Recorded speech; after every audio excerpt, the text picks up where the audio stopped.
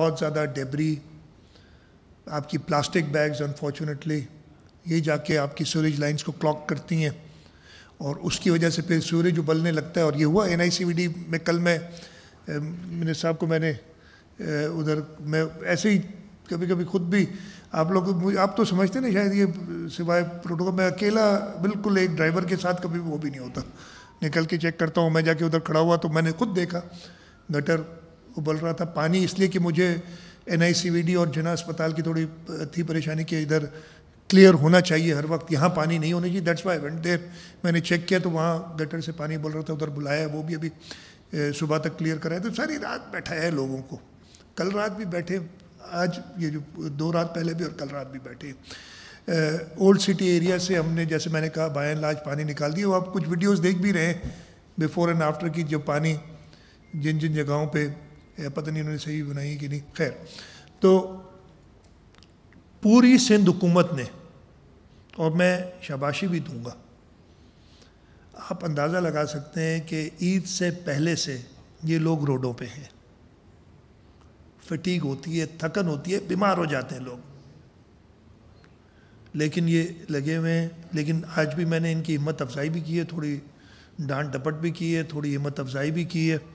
ताकि ये कंटिन्यूसली लोगों की खिदमत के लिए बैठे रहें।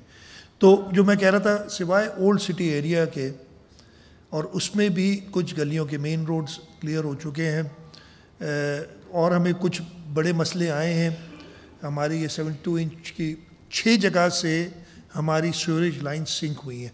छः ड्यूरिंग दिस पीरियड तीन इन्होंने कर दिए हैं रिपेयर तीन पे काम जा रहे हैं, जो सबसे बड़ा मसला है ये बिल्कुल सामने क्लिफ्टन पंपिंग स्टेशन है, उधर की जो बहत्तर इंच की आपके जो एडमिनिस्ट्रेटर साहब थे कराची के, वो कराची में मौजूद थे। म्यूनिसिपल कमिश्नर कराची के, कराची में मौजूद थे। आपके सेक्रेटरी लोकल गवर्नमेंट कराची में मौजूद थे थ्रू आउट आपके M D K W S B Karachi में मौजूद थे थ्रू आउट आपके M D M D Sindh solid waste management board Karachi में मौजूद थे। तो भाई, अगर सारे डी सी साहिबान कराची में मौजूद थे आप नाम लें किसी का भी। ठीक है जी, फिर ये आपको परेशानी क्या थी? ये सिर्फ़ इसलिए कि इलेक्शन आने और आपने दूसरी पार्टियों को गंदा करना है तो आप ये करेंगे, जिसमें आप ना अखलाक का ख्याल रखेंगे, ना आप किसी के मज़हबी त्यौहार के बारे में ख्याल रखेंगे, ना आप किसी की एथनिसिटी पे शुरू हो जाएँगे। बहुत ही अफसोस की बात है। मतलब यही लोग पहले भी रहे हैं। ये मुतहदा कौमी मूवमेंट के, क्या नाम है यार उसका? सबसे बड़ा? सबसे अच्छा मेयर दुनिया का? क्या नाम है? नाम भूल गया। मुस्तफ़ा कमाल। मुस्तफ़ा कमाल एम क्यू एम वाला। अब पता नहीं कहाँ है। उस वक्त तो बड़े ताज पहनाए थे, उसको मिठाइयाँ खिलाई थी, हार पहनाए थे। आपको याद है ना? ये पुरानी बातें नहीं है यार। अभी वो बैठ के जहर उगल रहा है। ये पीटीआई वाले, इस शहर ने उनको सही या गलत? मेरे हिसाब से तो गलत। मुतहदा वाले भी मेरा साथ देंगे, इसमें कहेंगे गलत। चौदह एम एन दिए। सिवाय टीवी पे करने के कोई काम किए उन्होंने? ठीक है, सारा काम हुकूमत का है, लेकिन ये पीटीआई तो बड़ी जमात जमात है नहीं एक्चुअली बहुत बड़ी जमात कहलाती है। पीपल्स पार्टी मैं ऑपोजिशन में था 2007 के अंदर जो है, मेरे भाई, इस वक्त वो जो चौदह मिली थी ना, आपको, वो कैसे मिली थी, वो इनको भी पता है, मुझे भी पता है, आजकल बड़ी बातें कर रहे हैं, ज़्यादा बातें बोलना नहीं चाहता, आप लोग सब बड़े होशियार हैं, जानते हैं कि कैसे जीते थे वो चौदह सीटें। मतलब रात को सोए हैं कि जी मैं तो हार गया, शख्स ने अपनी कॉन्स्टिट्यूंसी नहीं देखी कि वो है कहाँ, वो कहते, मैं जीत गया भाई। मेरा जानने वाला है। तो जिस तरीके से वो जीते थे ना इन्हें कुछ नहीं और इसी वजह से शहर में इन्होंने, अभी सिर्फ़ वो नो बोलना, वो सीखा है। अगर किसी पे कोई सरकार एक्शन ले, यानी सरकार का मीनिंग जो हमारे इन्वेस्टिगेटिंग अथॉरिटीज़ एक्शन ले तो वो भी मेरे ऊपर भाई। नहीं करो ना ऐसे काम। नहीं करो लैंड ग्रैबिंग मेरे भाई, अगर बाईस केस हैं, चौबीस केस हैं, तीस केस हैं मुझे नहीं पता। मुझे एक केस का नहीं पता, मैं ये लिख के दे सकता हूँ आपको कि कहाँ केस है, क्या है। इसलिए मेरा काम नहीं है। ये इन्वेस्टिगेशन एजेंसीज का काम है।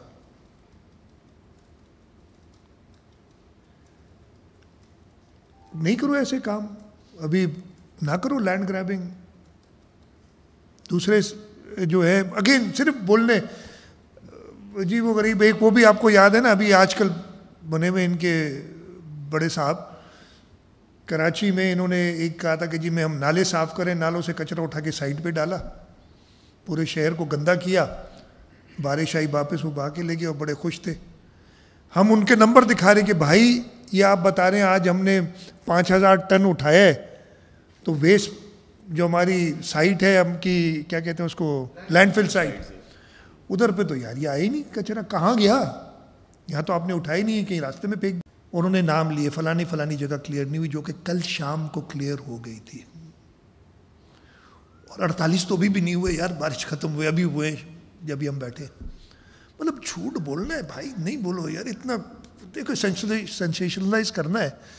आपने चैनल को चलाना है, लेकिन थोड़ा सा, अपने ज़मीर से भी, खुद भी सवाल करो। मैं मीडिया से सॉरी, थोड़ा सा कैंडिड हो रहा हूँ।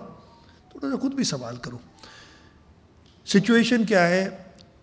हम परसों जैसे ही बारिश रुकी थी, उस वक्त मेरी गाड़ी जो है, तकरीबन दोबारा डूबते डूबते बची। एक बार पहले तो एक गाड़ी डुबो चुके थे यहाँ पे सेक्रेटेरिएट के पास हाई कोर्ट के पीछे।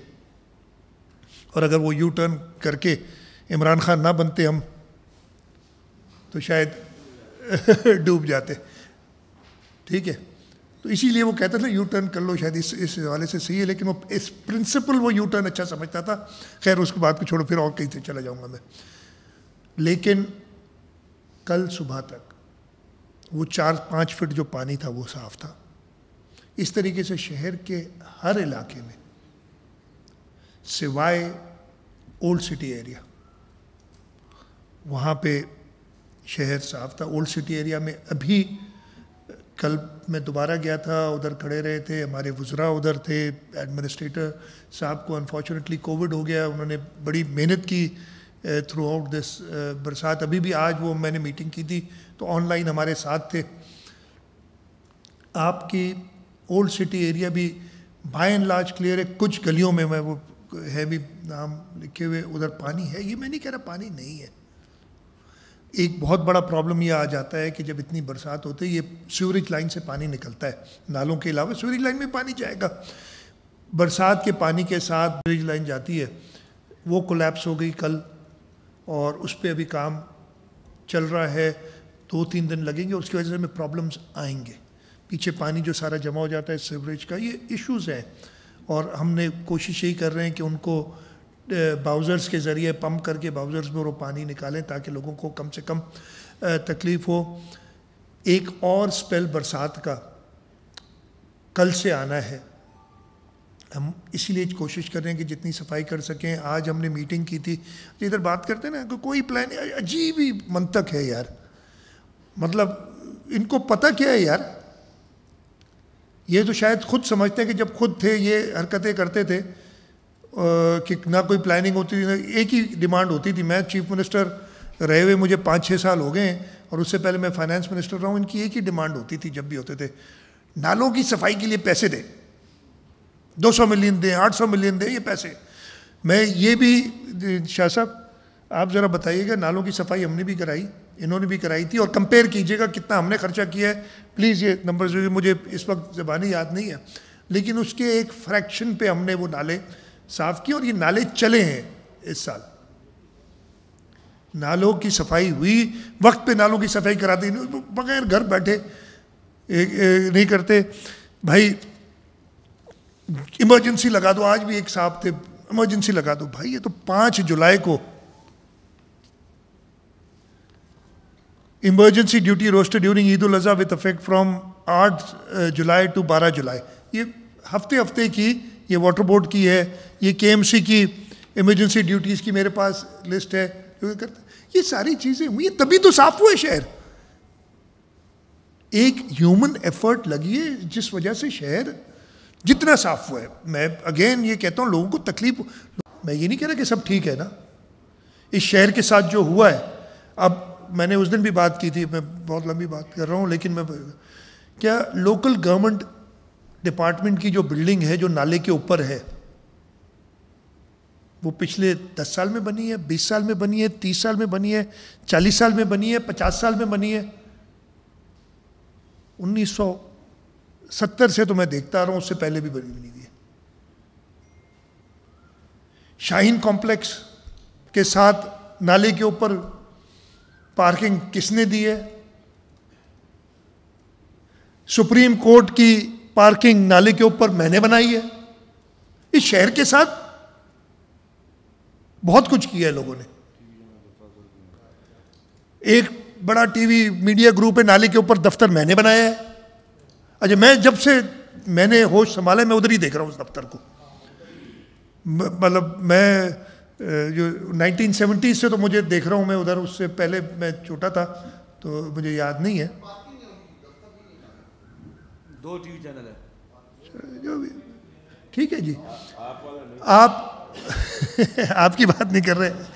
अच्छा जो आ, मैंने उस दिन आपको बताया था यार रोड बने हुए हैं पूरे सेंट्रल डिस्ट्रिक्ट के अंदर।